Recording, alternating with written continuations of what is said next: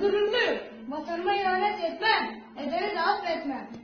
Biz bu ülkede doğduk, bu ülkede doyduk ve bu ülkede adam olacağız. Daha nice aziz sancarlar çıkacak Güneydoğu'dan. Onun gibi milliyetçi, onun gibi vatansever olacağız. O sesi değil, bu sese kulak ver Türkiye. Bu düşünceler asimile olmanın değil, açık olmanın ürünüdür.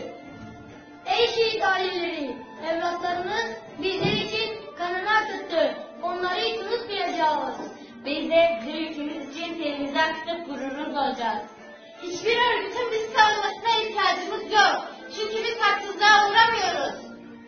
Ey Müslüman Türk halkı! Bir çocuk kadar cesaretin varsa sen de tepkini ortaya koy ve vatanını koru. Biz söylemekten çekinmiyoruz